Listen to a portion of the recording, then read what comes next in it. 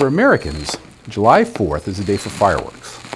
However, in 2012, the most exciting pyrotechnics were of a scientific rather than the incendiary variety.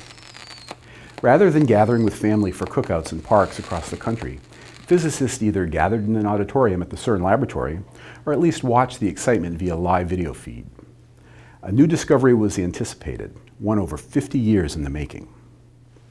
In 1964, three scientific papers written by six different physicists proposed a previously unsuspected energy field in the universe. While he was not the only keen mind who had the idea, this new energy field is now called the Higgs field, after Dr. Peter Higgs. Technically, what scientists claimed in July of 2012 was that a new particle had been discovered. In order to understand whether the new particle was the Higgs boson or not, researchers performed several tests to see if the new particle had the right properties. While every test that was performed showed that the new discovery acted like the Higgs boson was predicted to act, there were many properties that hadn't been tested.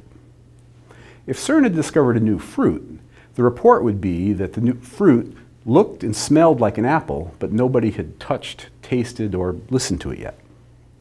So what was claimed was the magic phrase, the newly discovered particle is consistent with being the Higgs boson. All tested properties supported the claim, but more tests were needed to make a definitive claim. So what has happened in the intervening months? Well, the first thing is that we collected a lot more data. Not sweating what the units mean, in July of 2012 we had about 10 units of data, and now we have 25. This increase in data means that we can remeasure the things studied last year with improved precision.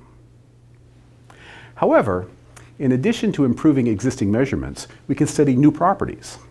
Since the Higgs boson was predicted from a theory, all of its properties were completely specified. For instance, some of its expected qualities are that it be electrically neutral, have a spin of zero, a positive parity, and have nothing inside of it. In March of 2013, LHC scientists released the results of improved analyses. We measured the various ways a Higgs boson can be made and the many ways in which it can decay. All measurements were statistically consistent with predictions. The phrase statistically consistent means that while the measurements weren't exactly as predicted, they were as close as could be expected for the amount of data collected. These measurements were improvements over the results of July 2012, but were basically the same thing.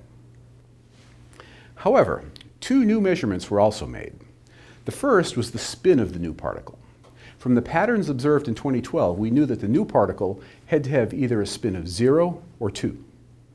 It might be hard to imagine how you would measure the spin of a subatomic particle, but it's easy to understand how you would do it in principle. If a particle has a spin of 0, that means it isn't spinning. If you think of an isolated particle in empty space just sitting there, there is nothing that makes one direction different from any other direction. Left is the same as up, is the same as the direction pointing at CERN. If there is nothing to pick a particular di direction, then there is nothing to tell the decay products where to go. Thus, they will decay with equal probability in all directions, sometimes this way and sometimes that.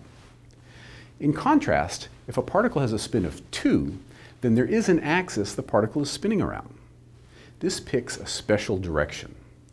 Because of this, and because the decay products themselves have a spin, it means that the decay products won't go in all directions with equal probability.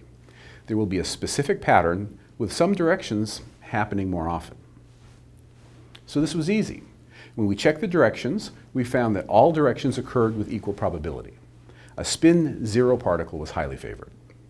Since the Higgs boson is predicted to have a spin of zero, this is additional support that Higgs boson has been found. Another property that is harder to understand is the idea of parity. Parity is when you ask what happens when you swap left with right, up with down, and forward with backward. Can you tell the difference? As an illustration, we see a simplified version of parity here, when you swap just left and right. If, when you swap the two, it doesn't look very different, this is positive parity. If, when you swap the two, it looks just the opposite, then this is negative parity. When we studied the data to see which sort of parity the new particle had, we found that it had positive parity. This is the same parity that the Higgs boson is predicted to have.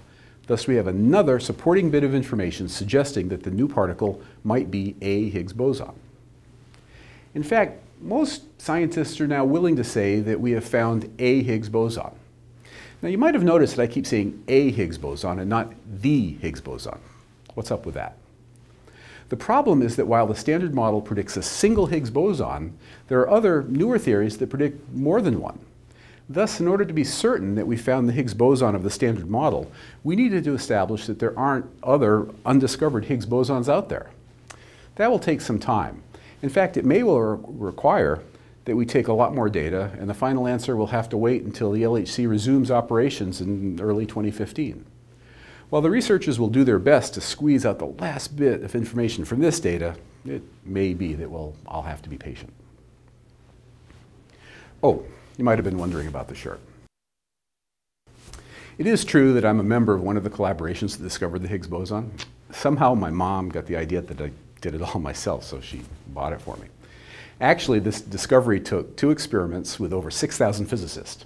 If you include the accelerator scientists, the number is more like 10,000. And we remember that the effort has taken about 20 years. The real number of people it took to find the Higgs boson is probably double that or even more.